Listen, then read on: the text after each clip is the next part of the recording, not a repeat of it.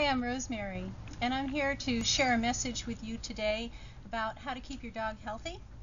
Um, we use natural cellular defense and we use Mega Defense to keep Gracie's immune system working really strong.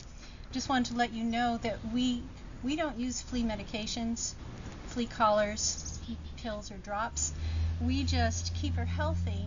And the interesting thing is that Gracie never has fleas we don't have to worry about her being sick. We just use natural cellular defense and mega defense for prevention. We'd like you to try it too. Uh, add a little bit of mega defense to the food every day. Gracie gets mega defense twice a day.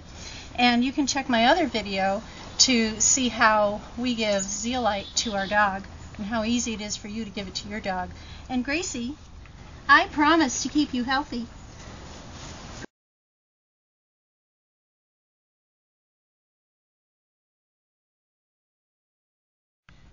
Gracie, I promise to keep you healthy.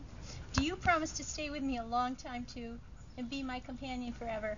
Yes, is it a deal? Oh, good girl. Thank you.